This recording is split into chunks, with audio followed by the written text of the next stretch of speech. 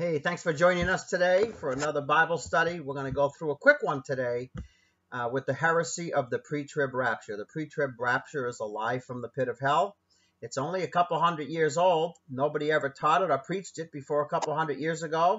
Um, and we're going to debunk that lie from the pit of hell. Very easily, I can tell you right now that not one, ra- uh, one scripture in here uh, would preach far, positively, far a pre trib rapture. Not one scripture. Not one scripture in the entire Bible that talks about a pre trib rapture. Uh, we're going to be reading from scripture from the KJV, just so you know. Um, and so I pray you stick with us. This is going to be probably less than a half an hour. Uh, there are various teachings, of course, on the rapture, but what it basically teaches is that Christians will somehow be magically sucked up before any trouble or tribulation comes in, before the great tribulation comes. The term rapture does not appear in the Bible and has never been taught until a couple hundred years ago, as I said. So pay attention um, as we go through the scripture. Amen. We're going to rebuke this quickly. Matthew 24, 3 through 4 says, And as he sat upon the Mount of Olives, the disciples came unto him privately, saying, Tell us, when shall these things be? And what shall be the sign of thy coming, Lord? And of the end of the world? And Jesus answered and said unto them, Take heed that no man deceive you. If I'm looking at you right now and you believe in the pre-trib rapture, you have been deceived. I was deceived for the first six years that I thought I was right.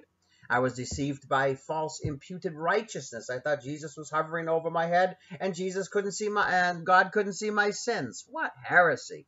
Uh, I believed in unconditional eternal security, or once saved, always saved, the perseverance of the saints. Wicked, wicked, wicked. God's love is conditional. Our security is conditional on obeying, having faith in Jesus. For we are saved by faith, which means being faithful. The minute you stop being faithful, you fall away as a castaway. But let's stay on the uh, pre-trib rapture. Let no man deceive you, Matthew 24, 4 says. Amen. Jesus warns us this. Pay very close attention to what he says right after that. Right after he says, let no man deceive you, he tells you what's going to happen to you if you truly walk as a Christian. Matthew 24, 9 says, Then they shall deliver you up to be afflicted, and they shall kill you, and you shall be hated by all nations, Christian, for my name's sake. Are you hated by all nations? Bible says in Luke 12, 51 to 53 and Matthew 10, 34 to 36 that the enemies you will have will be in your own in your own household after you become a Christian. A mother will be against a daughter, daughter against the mother, father against son, son against the mother, etc., etc., etc. The enemies will be in your own household, and Jesus clearly says that I did not come to bring peace. The Prince of Peace did not come to bring peace, but division. Look those verses up. Luke 12, 51 to 53 and Matthew 12, 34 to 36. Look them up. Jesus did not come to bring peace, people. You got to go through tribulation. Jesus is telling his own disciples that they're going to be delivered to tribulation and they will be hated by all for his name's sake. Listen, Matthew 24, 10 through 13. And then many shall be offended. When you are a true Christian, you are a Bible believing, born again uh, Christian, you will be hated. And this happens to you. They shall be, people will be offended. Oh, that self righteous guy. Oh, he's in a cult. He's a Jesus freak. Blah, blah, blah. If you're not hearing this, He's taking it too far. He believes in an old book. Taking it. If you don't have this stuff being said to you, something's wrong with your walk, as you like to call it. And there shall be many offended and shall betray one another, and they shall hate one another. Many false prophets shall arise and spew these false doctrines of pre-trib, and once saved, always saved, and impute righteousness, and etc., and deceive many. And Matthew 24, 12, and 13 says, Because iniquity shall abound the love of many shall wax cold. But he that endures till the end, the same shall be saved. Amen. You must endure to the end. Jesus doesn't mention anything here about some rapture taking them away, but that they would have to endure till the very end to be saved. Matthew 24, verse 21 and 22, we're going to do first.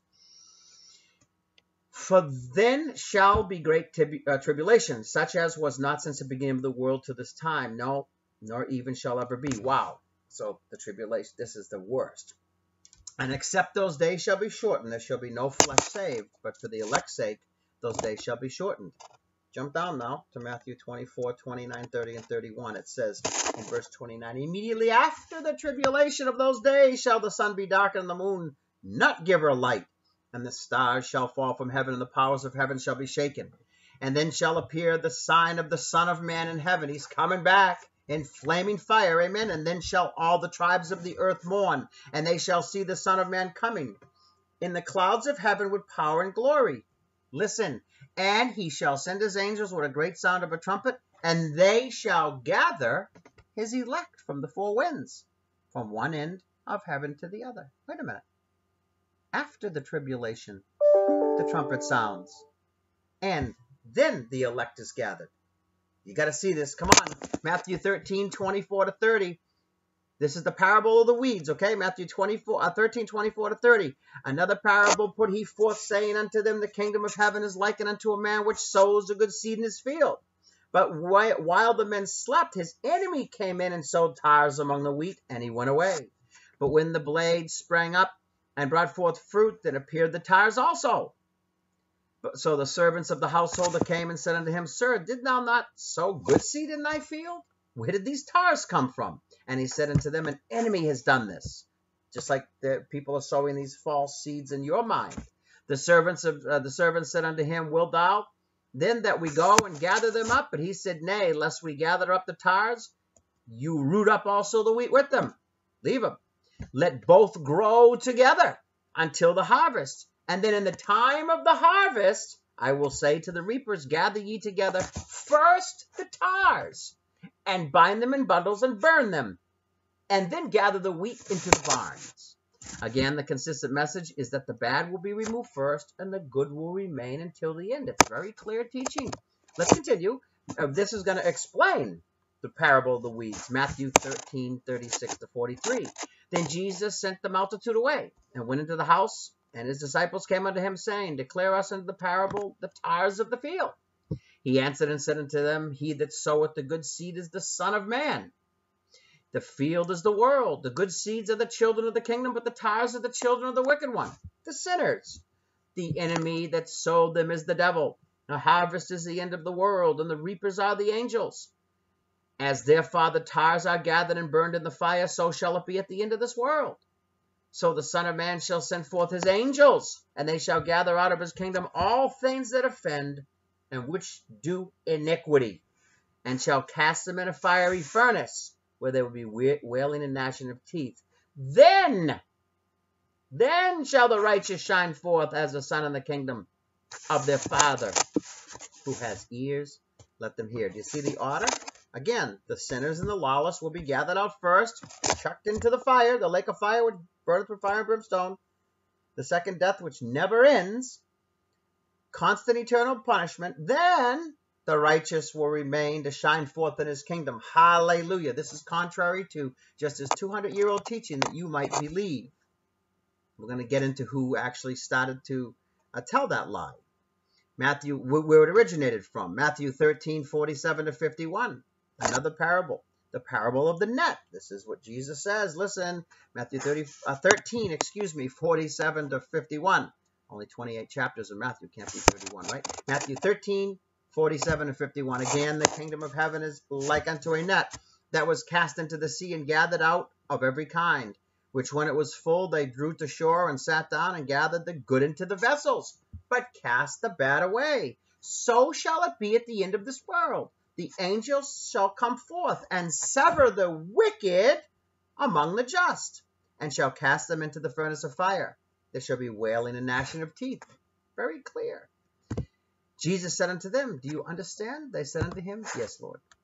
Now the question is, do you understand that there's no such thing as a pre-trib rapture? Don't believe the lies. Scofield and Darby, I'm going to get into that. So it's not the Christians who were snatched away first, we have been told, but the wicked who will be snatched away and thrown into the fire. Again, the believer has to endure till the end to be saved. Listen, Luke 17, 26 to 27. Very powerful verses. And as it was in the days of Noah, so shall it also be in the days of the Son of Man. They did eat and they drank and they married wives and were given in marriage until the day that Noah entered the ark and the flood came and destroyed them all. Noah wasn't sucked up. The flood didn't take away all the, um, uh, didn't uh, take away the righteous, right? The opposite of the modern day rapture teaching. It took away the wicked. first. Luke 17, 20. And Noah and the, the other seven, his family, they lived. The eight lived. The wicked were take, taken away. Again, against the rapture that you believe. Some of you. Luke 17, 28 to 30. Let's bring this home now. We're almost done. Likewise, also, as it was in the days of Lot. Another example. They did eat, they drank, they bought, they sold, they planted, they builded. But in the same day that Lot went out to Sodom, it rained fire and brimstone from heaven and destroyed them all. Even thus shall it be in the day when the Son of Man is revealed. Lot was still on the earth. He didn't get sucked up. The wicked was taken out first. Jesus made it very clear again, perfectly clear. The, the first to go were the wicked. Lot remained, but the rest were taken away and destroyed. Let's go to Luke 17, 33 to 36. And you know, I'm going to say, say here, so many people want to save their life. They don't want to have contention with their mother, their father, their sister, their brother, their children, whatever it is, when the Bible's clear that Jesus didn't come to bring peace, but he came to bring division. Amen? As I said before, the enemies will be of your own household. People don't want to offend anybody. Listen, the Bible is a double edged sword. When you become a Christian, you become a freak to everybody else. Now, you don't be a hateful, revengeful, angry person, but you're always talking about Jesus when he uh, has the Holy Spirit dwelling inside of you. You don't want to go to those movies or those watch those stupid sitcoms that have all these sexual innuendos of a woman in tight clothes and the breasts hanging out, all this other stuff. You don't want to go to the sporting games where they have cheerleaders flipping upside down. You can see all their private and all this other stupid, nasty music and people drinking and yelling and screaming and men running around running around in tights with a pigskin ball with lines in it. That's what you spend your time with, not the beautiful holy word of God and getting out there preaching or working harder to support a missionary overseas. And you think you're going to waltz into heaven? The Bible says you must pick up your own cross. We're going to get into that. Jesus did his work on the cross. That is finished. Are you going to finish? That's the question. He picked up his cross. Are you going to pick up yours? Don't believe these lies. So many will just do not want to suffer in this world. Being a Christian is about suffering and sacrifice. We're going to get into it. Luke 17, 33 to 36 says, Whoever shall seek to save his life shall lose it, and whoever shall lose his life shall preserve it. Are you ready to lose your life? This doesn't mean necessarily physically. This means your family, your friends, everybody else, etc. I'm not talking about if you're a husband that has a wife, you leave her and you leave your kids, okay? But there will be division in your own household, certainly. Luke 17, 34 to 36, I tell you, in that night there shall be two men in one, uh, excuse me, there shall be two men in one bed, there shall be one taken, the other one shall be left. Two women shall be grinding together, there shall be one taken, the other left. Two men shall be in the field, there shall be, uh, one shall be taken and the other left. It's commonly taught concerning these scriptures that the one taken in each of these cases was raptured out. Where do you get that? When we see all the other examples going back, the parables that Jesus spoke. It's always been the, the, the sinner taken first. Amen? And destroyed. The man taken from bed, the woman taken from grinding, the man taken from the field were all taken away by the reapers that came at the end of the age, and they suffer the same fate as the flood victims and the fire and brimstone victim, fire and brimstone victims of Sodom and Gomorrah. They're given to us for examples. The same in these verses. It's also commonly taught that we as Christians are not going to suffer any tribulation or trouble. This is great heresy. And that Jesus did all the suffering for us on the cross. Where do people get this? But this is what the Bible says. Matthew 10, 37 to 39. We're almost done. Hallelujah. This was quick, right? It's a quick rebuke. Matthew 10, 37 to 39 says, He that loveth father or mother more than me is not worthy of me. He that loves his son or daughter more than me is not worthy of me. He that does not take up his cross and follow after me is not worthy of me. So you have to take up your cross. Jesus did the work, but you have to do your work. Otherwise, he that finds his life shall lose it, and he that loses life for my loses life for my sake shall save it. Now, losing your life means denying all your fleshly lusts, denying all sin. Sin stops at conversion at repentance. Amen. And once you do that, you're going to fall in love with the Lord Jesus Christ. And you're going to want to read more and more of his Bible. All of a sudden, all that time you used to be spending with your buddies and everything else, that goes all away. And they're going to look at you like you are a peculiar people, a holy nation, a royal priesthood. Hallelujah. And the Bible says, Come out from among them and be ye separate, says the Lord. James 4 4, if you're friend with, friends with the world, you're an enemy of God. Jesus also said in Matthew 7 13 to 14, listen very closely to this, okay? Enter ye at the straight gate, for wide is the gate and broad is the way that leads to destruction, and many go in that way. Many go in that way. Verse 14 of Matthew 7 says, Because straight is the gate and narrow is the way which leads unto life, and few people find it. Now, I want you to listen to what the Greek says in this. The Greek meaning of narrow and small a tribulation, suffering, pain, difficulty, hardship, etc. That's for Jesus. Are you suffering and having difficulty and pain for Jesus? Hardship, tribulation for Jesus, because of Jesus. Did this truth create those? Not that you're just a jerk. You can't be a jerk and be with Christ, right? Did you becoming a Christian create tribute? Yes, it has to. You will be hated by all for my name's sake. All the non Christians, amen? And the people that will hate you the most are the ones sitting in the main street churches, even the back road churches. The Baptists, the Catholics, the Seventh day Adventists, the, uh, the, the uh, oh, all of them. I have a whole list of them over here. I don't know if you can see them, but that's, well, actually just a partial list. Presbyterians, Reformers, United Methodists, Lutherans, Pentecostals, Anglican, Word of Faith. Well, we can go through those all day long, but uh, there are thousands of denominations, I believe, thousands of sects around the world um, that are just blasphemous. So let's not get into that too much. But uh, the professing Christian will hate you the most because you will tell them that they have to come out of that false teaching. Amen. We are told that the false doctrine of rapture says that you will be taken. I mean, you are told that the false doctrine of rapture says you'll be taken away from tribulation. Again, not one verse in this Bible says that you will be raptured out.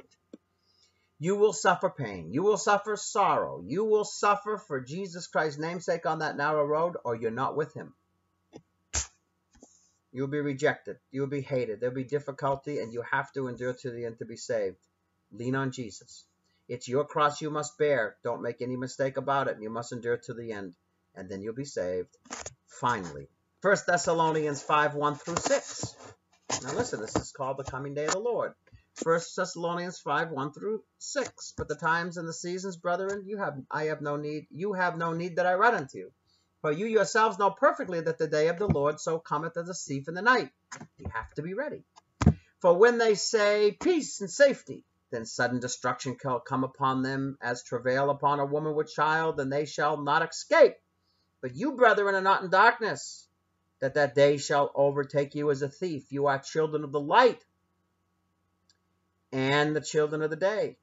We are not of the night nor of darkness. Let us therefore not sleep as others do, but let us be watchful and sober. You need to continually watch. You need to stand fast. Not just stand on the word, but stand fast. Stand against evil. Amen? Your lamps better be full.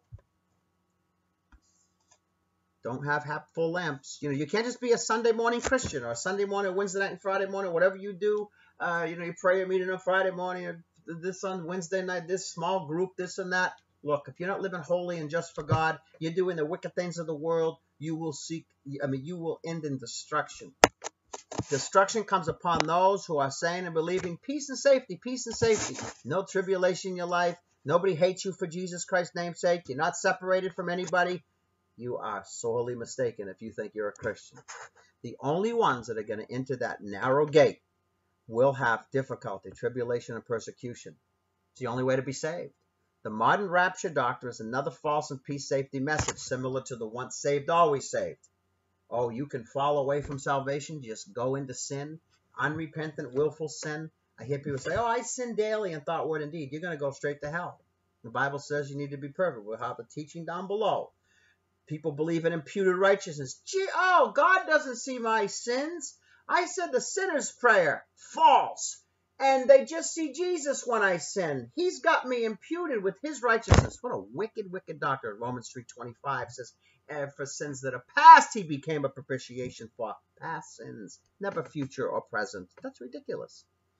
We will want to be sober and be on alert.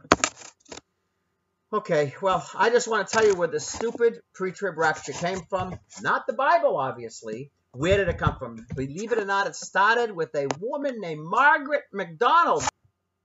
She had given prophecy concerning the end times in 1830. Her prophecy was written down and later published in 1840 and again in 1861. From this prophecy, a wicked man named John Nelson Darby began to promote this concept of the rapture theory and began to and it began to become very popular.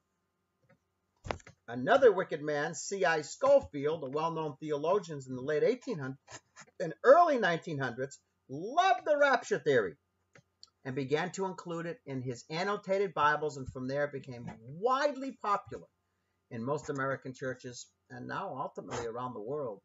So, this is a new and modern doctrine that was never taught before 1830. Uh, period. It is thought. Uh, it is taught and believed by most Christians. It's really sad. They have movies about it and everything. It's wicked. It's just another way of Satan tickling people's ears. Oh, yeah, we have to go through tribulation. Jesus got my back. Yeah, you know, I'm stuck in the sin. I watch a little porn. But I was a porno freak before, but now I just watch it once in a month. Or, yeah, Jesus got my back. I'll just repent. Or I'm going to go out on my birthday every year and, you know, get drunk like I usually do. I used to drink every day, but now I just do it once a year to celebrate. Or I'm going to do it on my graduation or whatever. Wicked, wicked, wicked. Willfully sinning. Read Hebrews 10 26. You must live holy for the Lord. And see, it leads to all these false teachings. Amen? So this is just another one of those false teachings that allow people to live in sin and become a saved sinner. It's just escapism mentality, no tribulation, no offending anybody, no separation, lovers of the world. Everybody loves you. You're just that happy-go-lucky Christian that doesn't offend. Well, let me tell you, Jesus was the most offensive person to walk on this earth, and he got murdered. He got killed for it. Amen. For you. Now, don't trample his blood by saying you're going to leave this world. You're not going to go through tribulation. Don't trample his blood by saying you're going to be once saved, always saved. And he did everything for you on that cross. Oh, he did a lot. He finished his work on that cross. But you have to finish your work and endure till the end. Amen. So I don't want to go on anymore. I can give you some more uh, verses here. I'll post them uh, in our teaching, which this will be linked to, okay? So underneath the video, you can just go to the link and see the rest of it. But I just pray uh, that you got something out of this and you don't believe in this heresy anymore. Uh, we'll also post uh, the other teachings that I mentioned, the, the, the heresy of once saved, always saved, or as the wicked Calvinists say, the perseverance of the saints, uh, and the Baptists, you know, um, all false teaching. So come out from among them, come out from those denominations, don't believe these lies. I care for your soul. And more importantly, Jesus is calling you to the truth. Don't listen to these false pastors that have you. I was in that for six years. I moved many times and I went to multiple churches and they were all the same. The same ear tickling mixed sermon they download from the internet.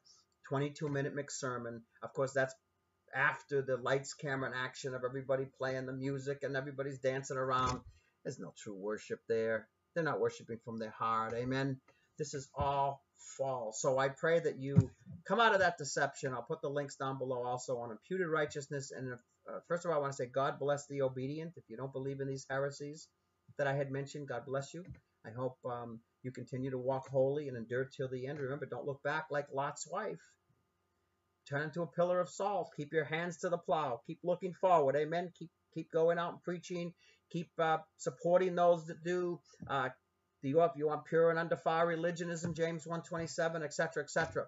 We must do for the kingdom. One of the biggest uh, sins of omission that I see people uh, will go to hell for is not giving to the orphan and the widow, not giving to the poor. Amen. They'll give a tithe, which is not even commanded. That was Old Testament, and that was tithing of food, never money.